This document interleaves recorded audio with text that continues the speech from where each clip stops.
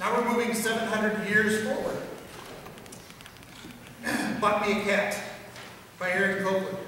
Aaron Copland is considered by many to be the greatest American composer of the mid-20th century and maybe the most recognized of his uh, music is for the ballet Appalachian Spring.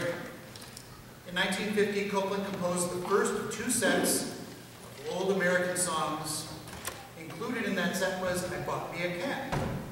These songs were written for baritone and piano.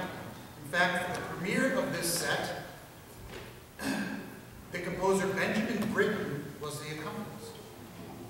Our arrangement is for full choir, but keeps the very interesting charm of the solo work.